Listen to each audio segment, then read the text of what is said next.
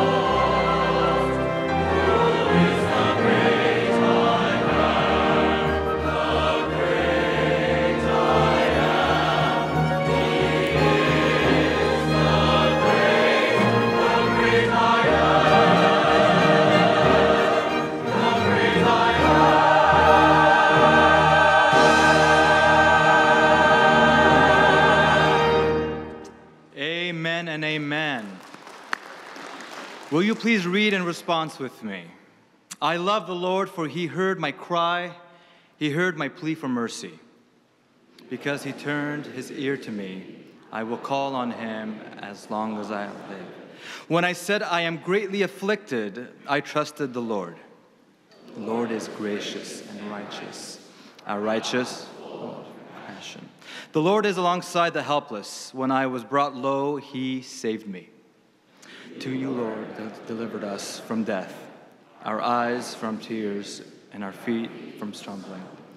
What shall I return to the Lord for all his goodness to me? We will lift up the cup of salvation and call on the name of the Lord, for he is good and his love endures forever. You may be seated.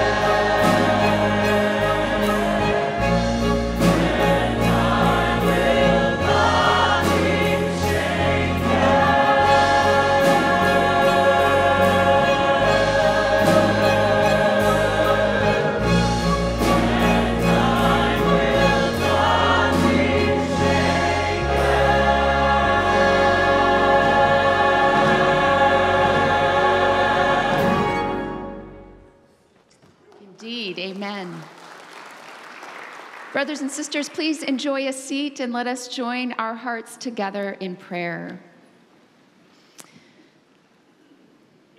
Gracious God, holy God, by the power of your word, this world was created, and by your grace and love, you sustain the world and all that is in it.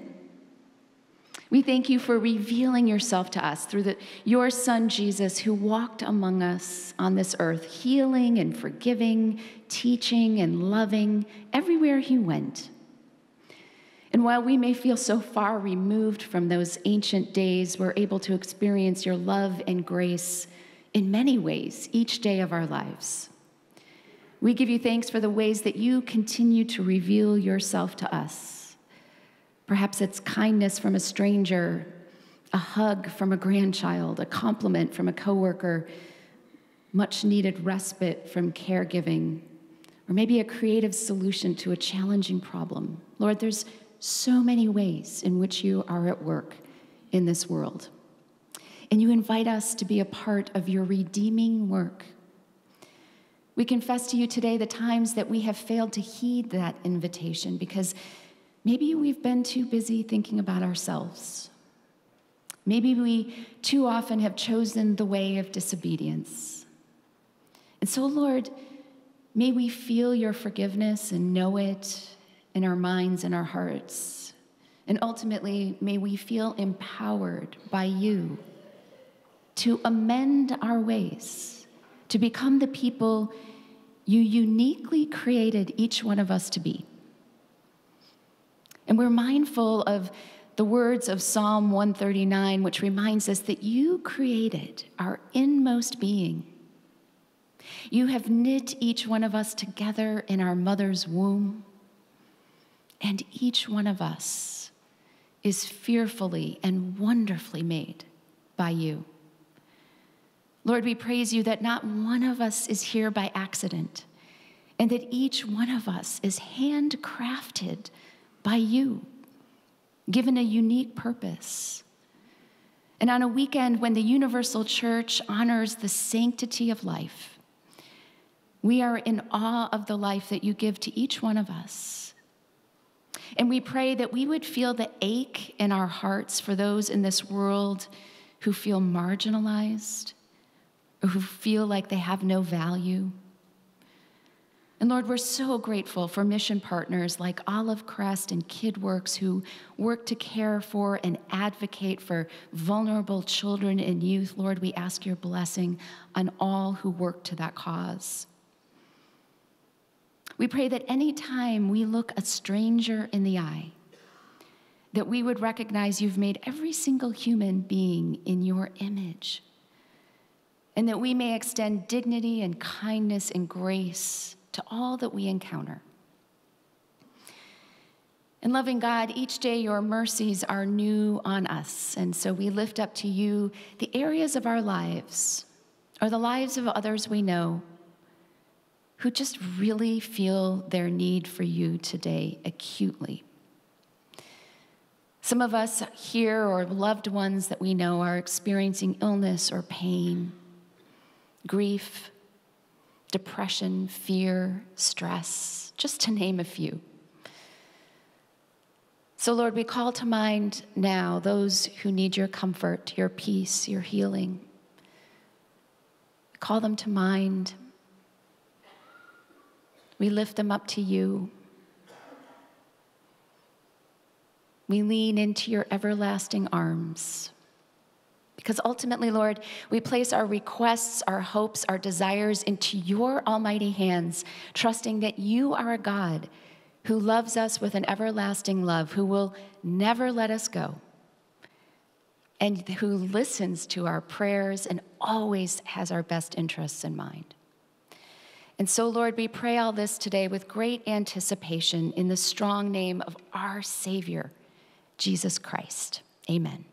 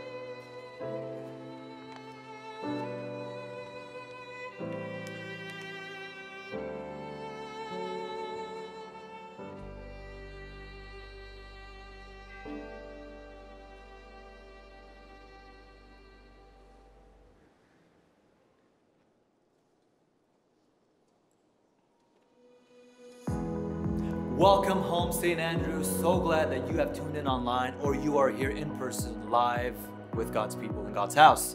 My name is Manny. I'm one of the pastors on staff here, and I have some announcements for you. So here we go.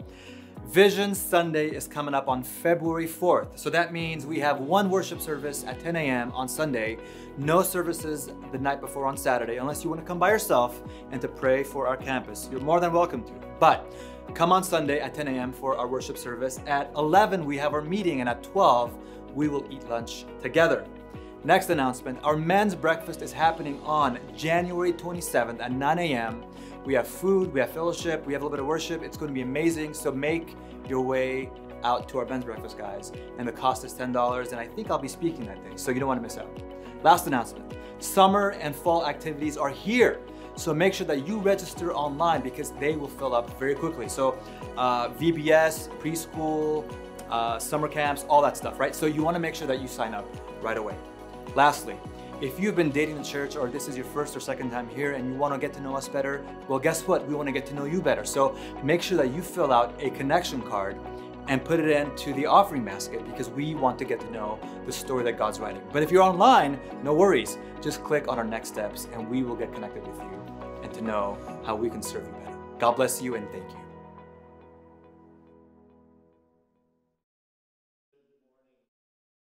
forward to take our offering at this time. And as they're coming forward, I'd like to tell you a little bit about our musical offering that the choir will offer today. It is called I Believe, and the words are a remarkable statement of faith in the face of suffering. They were found scrawled on a wall in a cellar in Germany after World War II, obviously penned there by a Jewish family that was hiding out. And these are the words that were on the wall I believe in the sun even when it's not shining. I believe in love even when I can't feel it. I believe in God even when He is silent.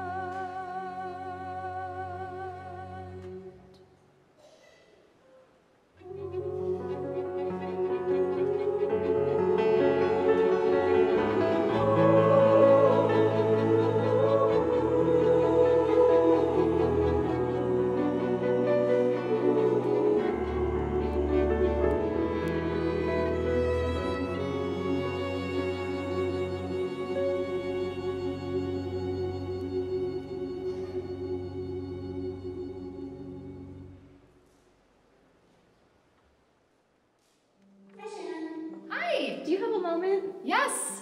Well, I was just wondering when I'm praying, sometimes I think about my small little problems and why God should care about those when there's much bigger problems in the world that I could be praying about. Right. I mean, honestly, I get this question a lot.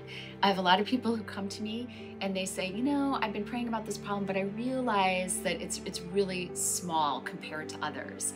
And you know, I just think back to Matthew 9 when Jesus is it says he's he's healing all kinds of diseases and sicknesses.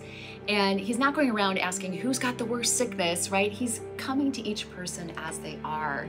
And I really think, you know, pain is relative. My suffering is different than yours.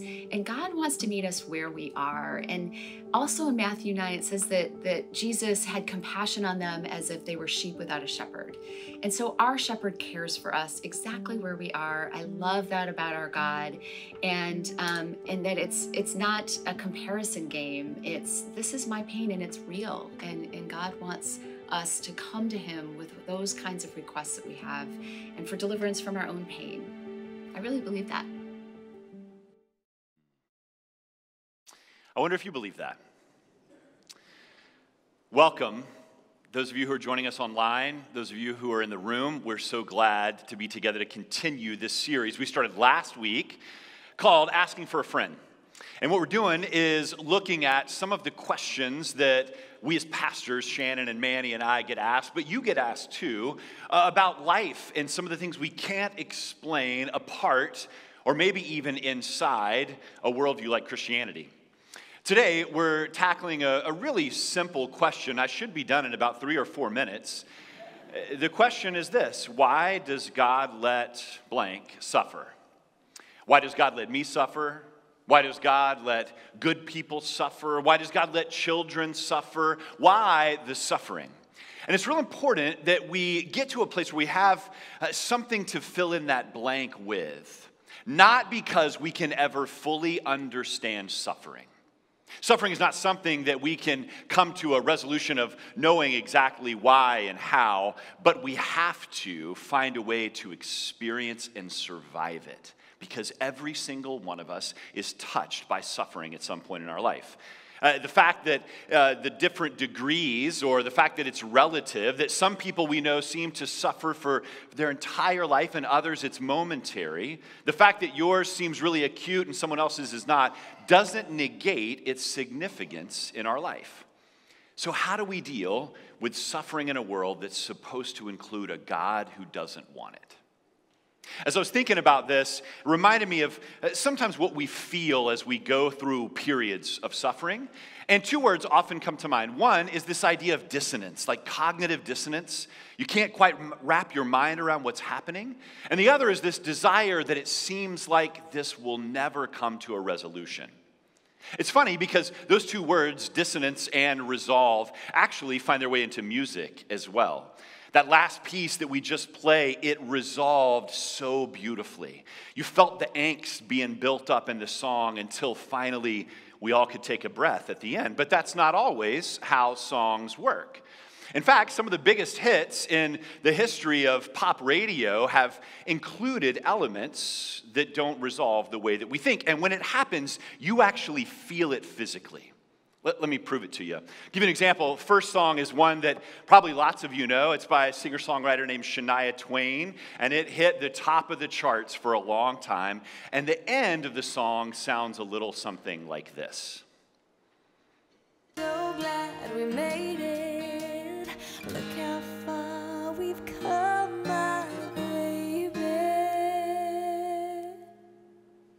Like you want one more note, don't you?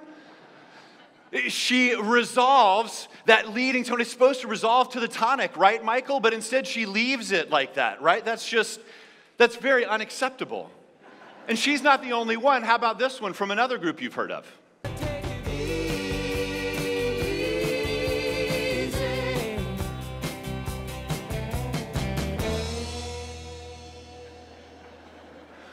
He ends on a minor six. Everyone knows he's supposed to resolve to the one, right? This is a deceptive cadence. I have no idea what I'm talking about.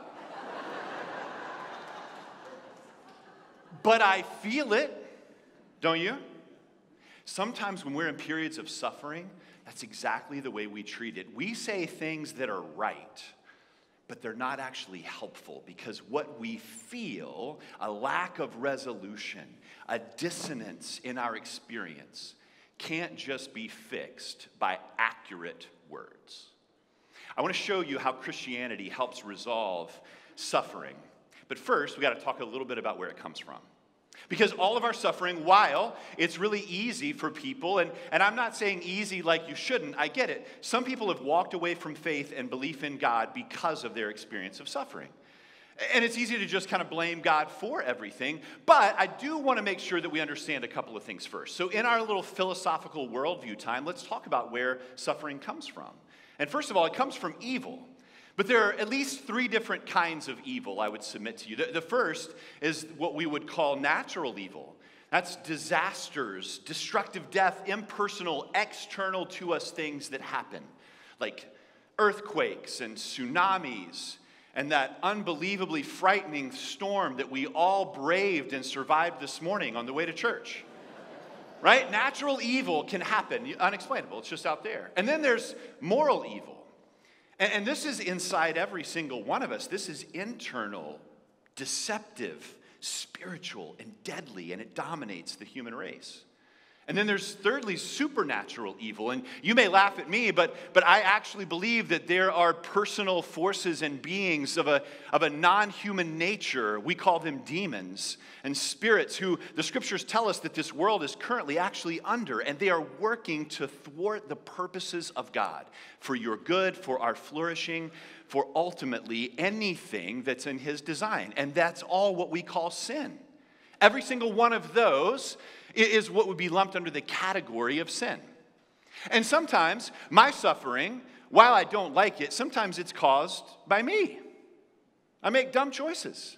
And sometimes my suffering is caused by you, because you make dumb choices. Sometimes it's caused by just simply the world, and sometimes eh, they're all connected. Like the moral evil of a greedy person who strip mines a poor country, and then suddenly that leads to erosion and other problems that affect health. See, they're all intertwined. We can't get out of this mess of evil, but that's where suffering comes from. Now, before I give God credit, I have to assume that I have a role to play in at least some suffering. But it doesn't help me answer the question of why it's still here. Because this is really the question that people have been asking for a long time. One layer underneath the problem that we have of suffering is this problem of evil. Well, great, Jason, but if there is a good, all powerful God, why does suffering and evil still exist? Why didn't he just make it to where there wasn't any? Some people want to say, well, that's impossible. But I would say this God could have made a world with no evil in it. He could have well within his ability. But you and I wouldn't be in it either. Because when he made the world the way that he did, he took a risk. And the risk was to give us humans choice. Choice brings into play the opportunity for evil. And actually, choice is the foundation for love, which was what he was after to begin with. Without choice, you can't actually love. Nobody would want to wake, well, I say nobody, but maybe there's a couple, would want to wake up to someone who was just programmed like a robot automaton to say, I love you, Jason, I love you, Jason, what would you like? That's not love. God created the world with the risk of choice because he also knew one day he would address it personally. We'll come back to that in just a moment. But there are two mistakes that are often made when we try to figure out this problem of evil. One is to say, well, look, God can't stop it. I mean, He gave us the choice, and now He just has to play by the rules. He's just as sad about it as you are. And I think that's ridiculous. Look, I, I, may not like the fact that God allows certain things to happen, but I don't want a God that's not any more powerful than me. Everything that happens, good or bad, has to come through his sovereign hand. So it's not the fact that God can't stop it. In fact, the Psalms are full of men telling God what they think of his decisions. And he's okay with that. But secondly, the second error is that he caused it. God is never the author of evil. And this is where your brain is going to start to hurt just a little bit, but we'll resolve it in a moment, okay? D.A. Carson said it like this God stands behind every instance of evil differently than he does blessing. Let me just unpack that for just a moment.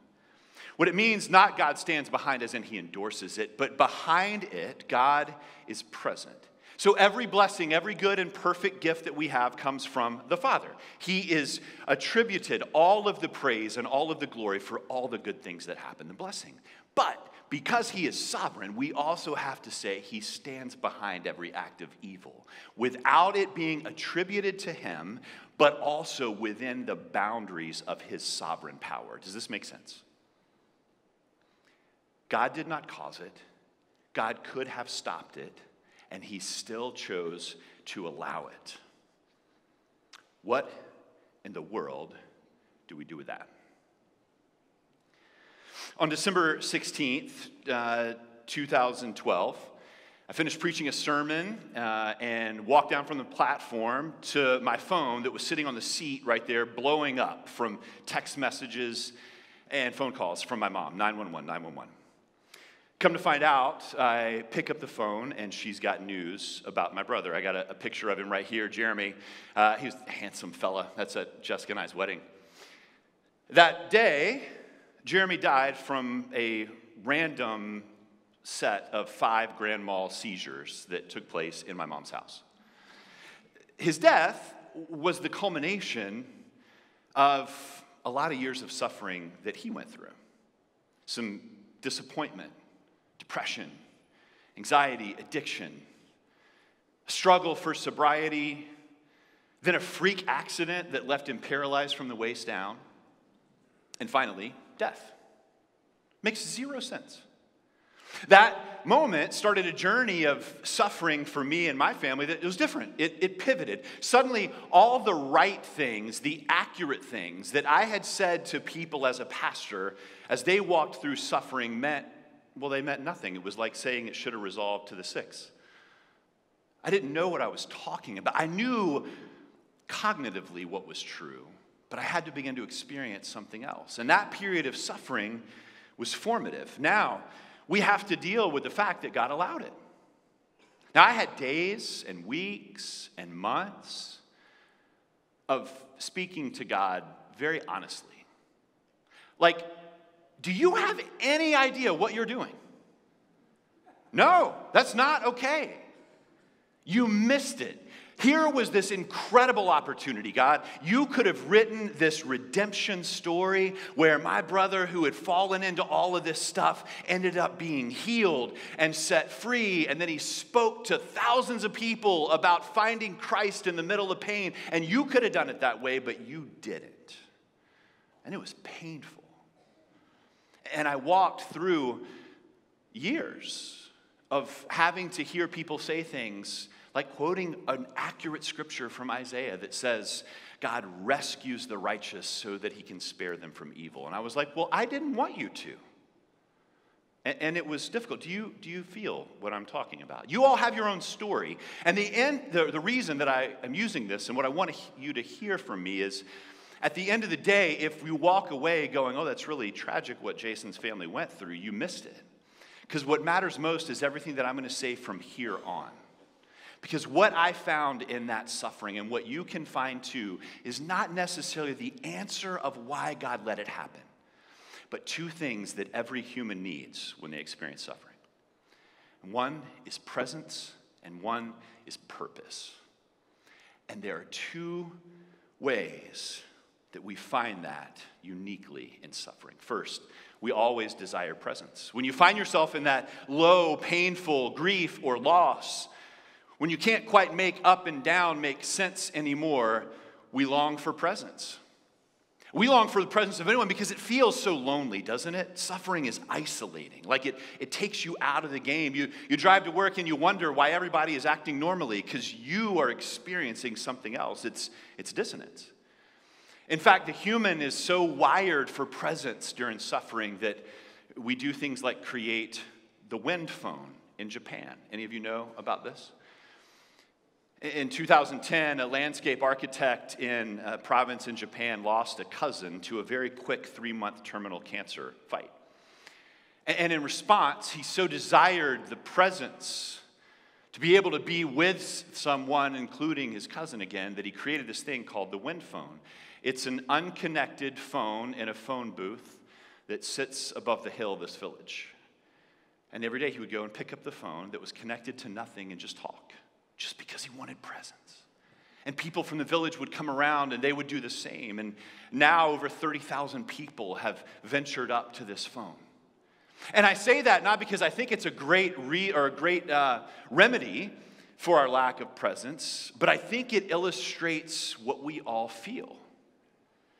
We want to believe we're not alone. The second is we want purpose.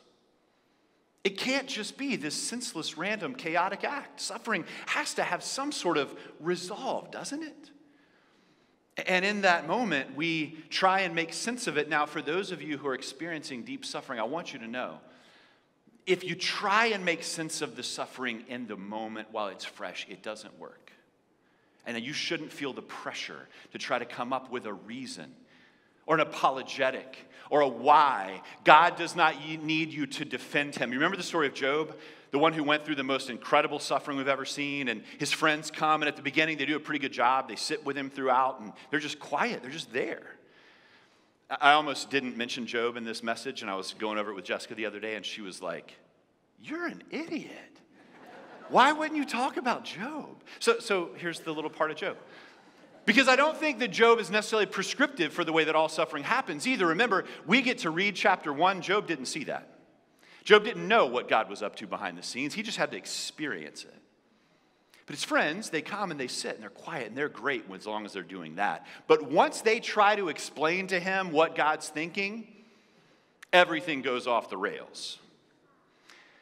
Our friend John Ortberg was having a conversation with me about suffering one time, and he, he said this to me. I think it's so good. Solutions aren't always possible, but meaning is always available. Solutions aren't always possible, but meaning is always available. So, what kind of meaning could there be? What might God be up to? I want to give you just a few ways that He uses suffering, not causes it, but uses it in our life as a way of maybe for you, as you walk through that experience, you can find some hope and a belief that there's more to it than just what you see or feel. First, God often uses suffering to drive us into the thing we want, His presence.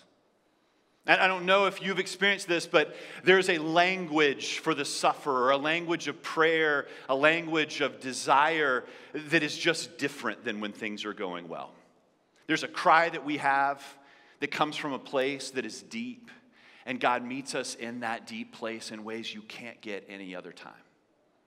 There, there's a, a way that we learn to trust, to go deeper into our relationship with this God, even when we don't understand Him.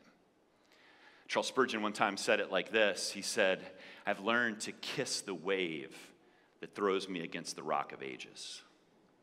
I first read that and I was like, I don't really like that. The more I've sat with it, the more I think I agree.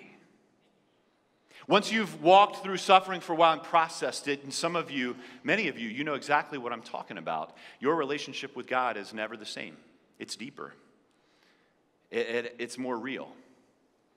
And even though you might choose to do things differently than He did, and I still think about that God, I write better plays than you. But I'm reminded of the Dominican priest Jacques Marie Louis Monsab, he said this If God were to concede me his omnipotence for 24 hours, if he were to give me his power, you'd see how many changes I'd make in this world. But if he gave me his wisdom too, I would leave things just like they are. Isn't that powerful? Some of you know that that's true. Even if you can't explain it, you trust that He's right. And I got to tell you, if you're in the middle of deep suffering right now, you may not feel that you can do this, but there does come a moment when it ebbs enough that you have a choice to either move closer to God or to move away. You don't have to feel that right now. There's no timeline that you have to follow, but when the moment comes and you'll know it, I just want to encourage you to move towards Him. Don't move away. You still have to walk through it anyway. Just choose for his presence to be one of comfort. Sometimes suffering doesn't just move us closer to him, sometimes God uses it for discipline. Not that he starts it for us, not that he's punishing, but we have a clear record, and I would not be faithful to Scripture if I didn't say that it is obvious that at times God allows things to go on in order to discipline and shape us. He's done it with His people collectively, and He's done it with us individually. Uh, sometimes the purpose for suffering is that it makes us long for, for our actual home, for the new heavens and the new earth, the place where we're going to be forever. How many of you are, uh, are campers? How many of you like to camp? Get out in nature, rough it, really rough it. Yeah, hands high. Okay, what's the best part about camping? Coming home. It's when you realize how much you love your bed and the comforts of your house. That's what it's designed for, to make you feel just how awful it is to sleep outside. Suffering sometimes works like that in our lives too. It makes us it pries our fingers off the temporary life we want to cling to, believing it has all the purpose and meaning. My comfort, my ease, these trinkets. And sometimes God uses that to let us let go and to prepare us for the eternity that we have with Him. Sometimes God uses suffering simply to accomplish His plans in us and through us. One of the things uh, that I found really interesting as I've walked through periods of suffering, and maybe you found this too, is how much more willing and, and quick I am to want to help other people. In fact, uh, that same conversation I had with John one day, he was saying this. He said, um, Helping others helps me more than getting others to help me when I'm in difficulty. Uh, choosing to move towards someone when I'm in my own pain, and maybe you find yourself there, and, and it could be that today's not your day, you just don't have the resource. But maybe tomorrow you'll wake up and you'll be able to do that. In fact, the scripture has been telling us about that for a long time. In 2 Corinthians 1, uh, Paul writes, Praise be to the God and Father of our Lord Jesus Christ, the Father of compassion, the God of all comfort who comforts us in our troubles so that we can comfort those in any trouble with the comfort we ourselves receive from God. That's a lot of comforts. But there's also a lot of trouble. And so God uses this in our lives, not causes it, but uses it to make us instruments of his grace to other people. Peter said it like this The God of all grace, who called you to his eternal glory in Christ, after you've suffered a little while, and I don't think he's being rude. I don't think he's saying just uh, something against what we all experience. Suffering feels long. Waiting for that note to resolve feels long. He's talking about in light of eternity. In light of the whole plan of God, after you've suffered a little while, He will Himself restore you and make you strong, firm, and steadfast. Peter says God will ultimately put things right, He'll bring justice and He'll strengthen, He'll empower, and He'll secure you. He'll hold you fast. But how's He going to do it? That's, that's the question. We already got the picture of, of how He ultimately deals with this. The redemption of suffering happens through a, a suffering servant we read about in Isaiah chapter 53, describing Jesus. Listen to these words He was despised and rejected by men. Part, some of you, that's the suffering you're going through. People have turned their back on you, or they have chosen to believe that your worst moment is your forever moment. He was a man of suffering, familiar with pain. That's some of you. You're dealing with chronic, long term pain. Jesus gets it.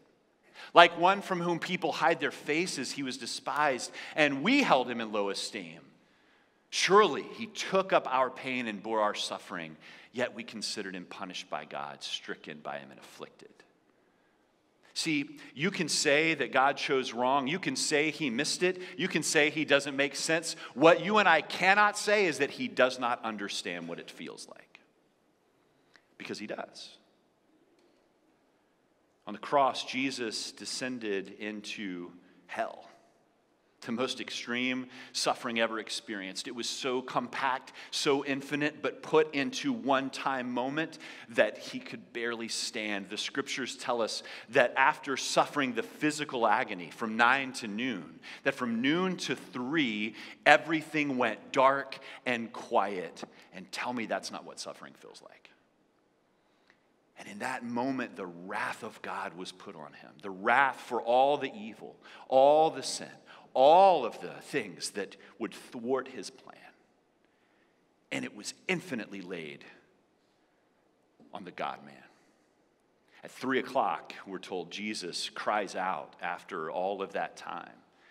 And he cries out words that resonate with you and me when we're in suffering Eli, Eli, Lama Sabachthani, which means, My God, my God, why have you forsaken me? At the end, for him, it felt like he was alone. Why did he do that? See, when we go through suffering, one thing we can be reminded of is that the cross of Christ was the epicenter of God's plan to deal with suffering, to address personally the risk that he took in giving us choice to deal with all of the suffering that we've experienced, at that moment, he broke its back for good. He unleashed all of it on himself. And in the most incredible way, surprising, unsuspecting way, evil thought it killed God, and all it did was commit suicide. Because from then on, we have been given the promise that one day it's over, that the price has been paid, that the substitution has been accomplished. So Jesus cries out, It's finished. And what we watch next is what God will do eventually with all of our pain and suffering. It was the bringing him back from the dead in new life, never to be touched by death or sin again. Isn't that good news? That's what we have to look forward to, folks. Paul says it like this Our light and momentary troubles, you're suffering now, in light of eternity, 10,000 years from now, in light of eternity, what you feel that is real at this moment, it is achieving for us an eternal weight of glory that far outweighs them all. So we fix our eyes on what is seen, not what's unseen, because that's what's eternal. The climax of human history was that God dealt with it forever on Calvary. He will end it in history and we will celebrate it for eternity. And that allows us to go through suffering with some sense of hope and purpose. Uh, sometimes uh, I'm an LSU football fan, many of you know that, and they play their games a lot at night, East Coast time, which is always right at the beginning of the Saturday night service start. So I record a lot of games and I go home and watch the game. And it's funny, sometimes on the way home, one of my knucklehead friends will text me and be like, Great win tonight. I'm like, Idiot, I was wanting to see it, you know, I wanted the drama to unfold. And I'll watch the game, and sometimes there's a fumble or an interception, and, and I'm like, What? Why did he do that? But you know what? I'm never rattled because I know how it ends. I watch the game, and it's like, Well, that's weird. How are they going to come back from this? You know how this ends. The victory of Christ over your suffering and pain is assured. and that allows people like me to continue to proclaim God, I don't have to defend what He's up to in the moment because I trust what He's up to ultimately. Isn't that good? Folks, I can't tell you why God is letting you suffer or your child suffer or people in Israel or Palestine or Ukraine or wherever. I, I can't tell you exactly why, but I can tell you that He is present and I can tell you there's purpose. And I can tell you this, and this we'll, we'll close with that evil may conduct a symphony of suffering in this life, but it does not get to play the last note. Amen? Amen. Let's pray. Father, thank you for, gosh, all of, of what you've done throughout history, recorded and in our own lives, that, that can remind us that we are not alone. God, we are living in a world that is broken, that has experienced suffering. We all get it, we all have it. Would you just impress upon us now the truth that we've just looked at, just skimmed the surface of.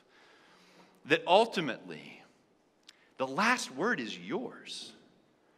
And you will choose to comfort, restore, empower, strengthen, and then spread out eternity with you in front of everyone who will trust in that suffering servant Savior that we have. Thank you, Jesus, that you chose to take in your body, in your psyche, in your mind, all of the pain so that you would know what we experience, but more so, so that you would overcome it.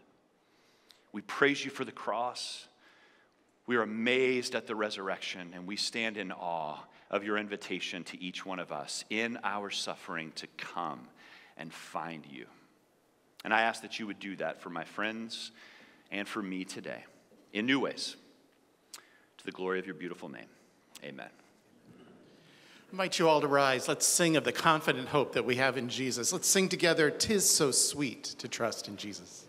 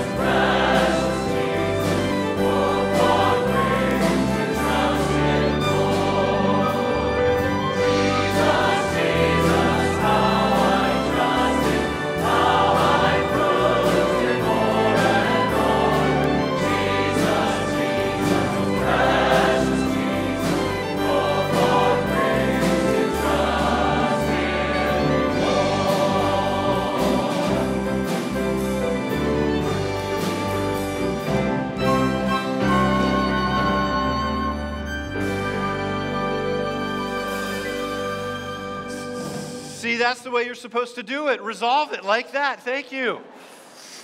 One day he will, folks. And, and, until then, if you need someone to pray for you, to kind of help you as you travel this, don't do it alone. Don't do suffering in isolation. We've got leaders to my right over to the prayer room that would love to meet with you. We've got deacons available at the Next Steps area. We've got groups for grief that our own Ann Huffman leads. There's lots of ways. You don't have to do this by yourself. Also, want to encourage you that next week we're talking about another pretty light topic, like who actually gets to go to heaven. So, you might want to invite someone that's got that question on their mind, or you might want to invite someone that you think is not ready. Because we're going to make a very specific, clear, and plain gospel invitation for anybody to respond to. Until then, I pray that this week you would know the presence of God your Savior in whatever circumstances you face. I pray that you would know his power at work in you and his love all over you, and I pray that you would come back next week celebrating what He's done as you focus your eyes on what is unseen but eternal and not just what's temporary. St. Andrews, we love you guys. Have a great week. We'll see you next Sunday.